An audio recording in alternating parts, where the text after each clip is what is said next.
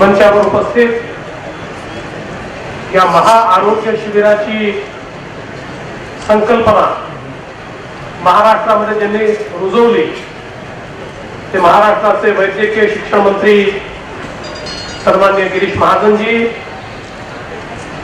देशाचे रक्षा राज्यमंत्री डॉक्टर सुभाष भामरेजी या जिल्ह्याचे पालकमंत्री आमचे सहकारी जयकुमार रावलजी या ठिकाणी मंचावर उपस्थित सन्मान्य इंद्रदेवजी महाराज सन्मान्य बिंदू महाराज माजी मंत्री आणि आमदार डॉक्टर विजयकुमार गावित खासदार डॉक्टर हिनाताई गावित या ठिकाणी उपस्थित आमदार श्रीदादा चौधरी आमदार चंद्रकांत दादा रघुवंशी चंदूभाई पटेल उदयसिंग पारवी बाळासाहेब सालक त्याचप्रमाणे विशेषत्वाने या ठिकाणी उपस्थित सन्मान्य शरददादा ढोले बाळासाहेब चौधरी त्याचप्रमाणे या ठिकाणी उपस्थित श्री विजय चौधरी आमचे ज्येष्ठ नेते लखनजी भगवान त्याचप्रमाणे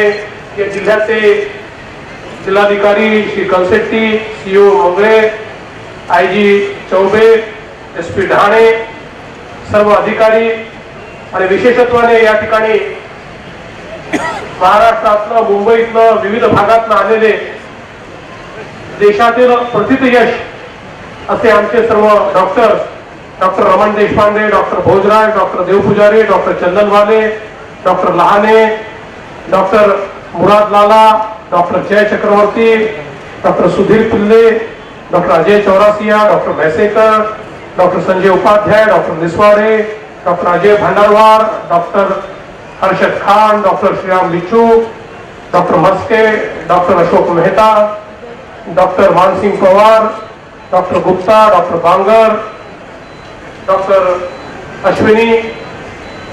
त्याचप्रमाणे उपस्थित सर्व डॉक्टर मंडळी आणि या महाआरोग्य शिबिराला उपस्थित या जिल्ह्यातील गावातलं पाण्यातलं दुर्गम भागातून आलेल्या सर्व भगिनी आणि बंधूंनो मी सर्वप्रथम गिरीश भाऊ महाजन आणि त्यांच्या पूर्ण टीमचं आणि त्यांना सहकार्य करणारे या ठिकाणचे आमचे पालकमंत्री असतील आमदार खासदार असतील या सर्वांचं अतिशय मनपूर्वक अभिनंदन करतो की त्यांनी या महाआरोग्य शिबिराच्या माध्यमातून एक नवीन रेकॉर्ड आज तयार केला आहे.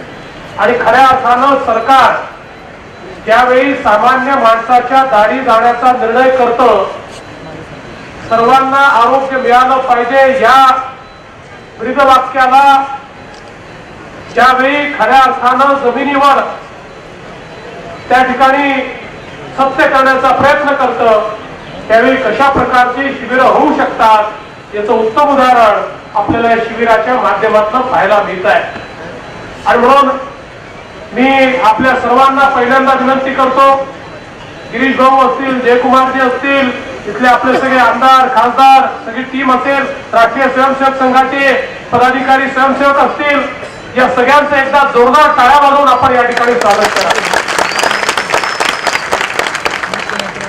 आणि विशेषत्वाने दुसरं जोरदार टाळ्या वाजवून स्वागत या सगळ्या आमच्या डॉक्टर मंडळीचा आपण करा.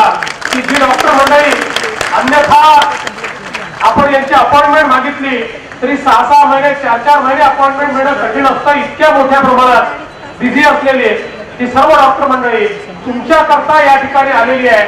खरोखर मला असं वाटतं की हा जो समाजसेवेचा भाव आहे हा अत्यंत महत्त्वाचा आहे.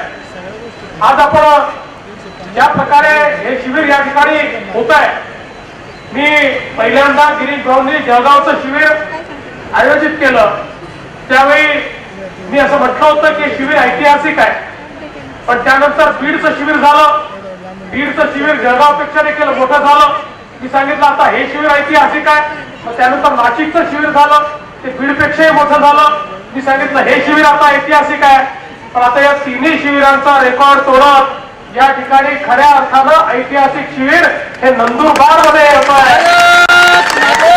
माहिती नाही. पण जर या ठिकाणी तुम्ही गिनीज बुकच्या लोकांना गिरीश भाऊ बोलवलं असतं तर कदाचित या शिबिराची नोंद ही गिनीज बुकमध्ये सर्वात मोठं शिबिर म्हणून जागतिक दर्जावर झाली असती. इतक्या मोठ्या प्रमाणात या शिबिरामध्ये दोन लाखापेक्षा जास्त लोकांचं रजिस्ट्रेशन आणि ते चालूच आहे. कदाचित आम्ही बसलो होतो तेवढ्या तासभरात अजून पाच पंचवीस हजार लोक वाढले असतील. आणि त्या माध्यमातून अतिशय मोठ्या प्रमाणात या व्यवस्था उभ्या आहेत. हे शिबिर हा केवळ एका दिवसाचा उपक्रम नाही आहे तर हे शिबिर या ठिकाणी आलेल्या रुग्णांचं स्क्रीनिंग करून तपासण्या करून त्यांना काय आवश्यक आहे याची नोंद घेतं आणि त्याच्यानंतर त्याच्या त्याच्या आवश्यकतेप्रमाणे त्याच्यावर सर्व प्रकारच्या शुश्रूषा त्याच्यावर आवश्यकता असेल तर त्याच्या सर्व प्रकारची ऑपरेशन ही या शिबिरानंतर केली जातात. आणि हे सगळं पूर्णपणे मोफत केलं जातं. हजारो रुग्ण हे मुंबईला नेले जातात. तिथल्या उत्तमात उत्तम हॉस्पिटलमध्ये त्यांच्यावर शस्त्रक्रिया केल्या जातात. त्यांना घरीपर्यंत पोहोचवण्याची व्यवस्था केली जाते. एक प्रकारे आपला सेवक म्हणून आपल्याला सेवा देणारी संस्था म्हणून शासन इतक्या मोठ्या प्रमाणात हे काम या ठिकाणी करतं. आणि विशेषतः नंदुरबार तर हा अति दुर्गम जिल्हा आहे. नंदुरबारचे पाडे हे असे आहेत की ज्या ठिकाणी पोचणं देखील कठीण आहे. मोठ्या प्रमाणात आदिवासी समाज आहे. गरिबी मोठ्या प्रमाणात आहे. अशा या नंदुरबारमध्ये या शिबिराच्या माध्यमातून शेवटच्या पाड्यापर्यंत आपण पोचू शकलो. आपल्या राष्ट्रीय स्वयंसेवक संघाचे स्वयंसेवक असतील किंवा शासनाचे प्रतिनिधी असतील या सगळ्यांनी त्या शेवटच्या माणसाला इथपर्यंत आणण्याचं जे काम केलं ते सगळ्यात मोठं काम आहे. आणि मला विश्वास आहे की अशा प्रकारच्या शिबिरांच्या माध्यमातून खऱ्या अर्थानं आरोग्य हे समाजातल्या शेवटच्या माणसापर्यंत पोहोचवण्याचं काम आपण करतो. कदाचित आपल्या संपूर्ण जीवनामध्ये तो व्यक्ती या मंचावरच्या डॉक्टरांचा चेहरा पाहण्याचं देखील स्वप्न पाहू शकत नाही. आज त्याला हे डॉक्टर ट्रीटमेंट देत आहेत. इतकी महत्वाची व्यवस्था या शिबिराच्या माध्यमातून या ठिकाणी झाली आहे. राज्य सरकारनं गेल्या दोन अडीच वर्षामध्ये अनेक महत्त्वाचे निर्णय घेतले. महात्मा फुले जनारोग्य योजना आता आम्ही आणतोय. या योजनेच्या माध्यमातून बाराशे आजारांकरता आपण मोफत ट्रीटमेंट त्या ठिकाणी देणार आहोत. जुनी जी राजीव गांधी योजना चालायची त्या योजनेमध्ये नंदुरबार सारख्या जिल्ह्यामध्ये एकही हॉस्पिटल एम्पॅनल नव्हतं. कारण पन्नास खाटांचं हॉस्पिटल ही अट होती. आणि तसं हॉस्पिटल मिळत नसल्यामुळे नंदुरबार सारखा जिल्हा यातनं वंचित होता. आदिवासी जिल्ह्यांकरता आम्ही ती अट आता शिथिल केली आहे. आणि वीस बेडच्या हॉस्पिटलला देखील एम्पॅनलमेंट देण्याचा निर्णय आम्ही केला. त्यामुळे आता नवीन योजनेमध्ये नंदुरबारचे देखील अनेक हॉस्पिटल हे एम्पॅनल होणार आहे. आणि या योजनेचा लाभ हा नंदुरबारच्या लोकांना देखील मोठ्या प्रमाणात मिळणार आहे. यासोबत आपण टेलिमेडिसिनच्या माध्यमातून मोठ्या प्रमाणात जे काही लाभ आहेत ते पोचवण्याचा प्रयत्न करतो आणि या सगळ्याच्या माध्यमातून गरीब माणसाला त्या ठिकाणी सेवा सुश्रूषा मिळाली पाहिजे. केंद्र सरकारने एक अतिशय महत्त्वाचा कार्यक्रम दिलाय. माननीय मोदीजींनी देखील सर्वांकरता आरोग्य कार्यक्रम सुरू केला. त्या कार्यक्रमाच्या अंतर्गत सहा जिल्ह्यातल्या प्रत्येक व्यक्तीला त्या ठिकाणी त्याची तपासणी करून त्याला मोफत आरोग्य सेवा देण्याचं काम आता आपल्या इथे सुरू झालंय.